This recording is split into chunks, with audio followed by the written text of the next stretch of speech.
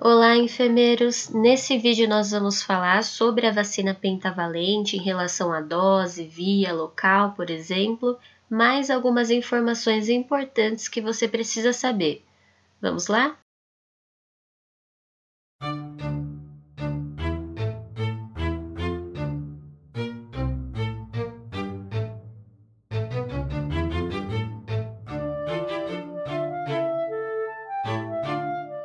Já pelo nome dessa vacina, você já deve ter deduzido que ela protege contra cinco coisas, cinco doenças, né?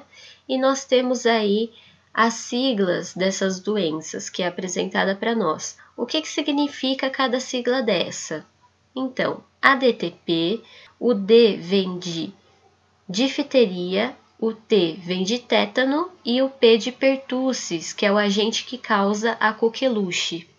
HIB HIB vem de Haemophilus influenzae, do tipo B, e o HB, que é de hepatite B.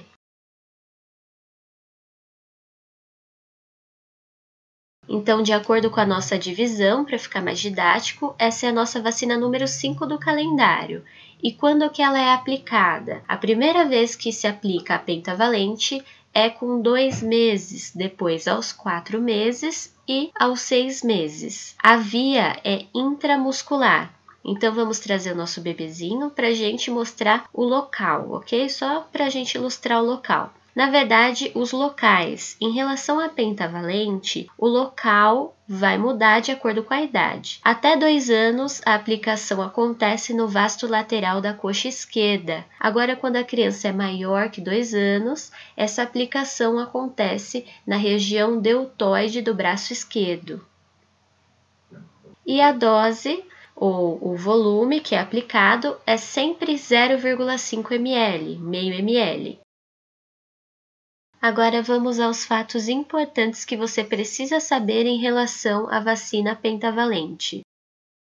Começando pelo fato de que ela não pode ser aplicada na região dorso-glútea, pelo risco de lesão do nervo ciático e também pelo risco dela ser aplicada erroneamente no tecido adiposo, que faz com que ela perca sua efetividade. E a pentavalente pode ser aplicada simultaneamente com qualquer vacina do PNI, que é o Programa Nacional de Vacinas. O reforço dela acontece com a vacina chamada DTP, que a criança vai tomar com 15 meses e com 4 anos de idade. E também existe uma contraindicação dessa vacina para crianças com 7 anos ou mais. E dentre as reações graves, nós encontramos convulsões, que podem acontecer até 72 horas após a aplicação, e também a síndrome hipotônico hiporresponsiva, que acontece até 48 horas após a aplicação. Além disso, a reação anafilática também pode ocorrer com a pentavalente e casos de encefalopatia também, ok? Nos primeiros sete dias após a aplicação.